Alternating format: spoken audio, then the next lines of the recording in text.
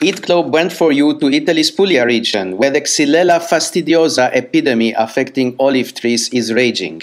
Stay tuned to see our report showing that the regulations to stem the epidemic are not being followed.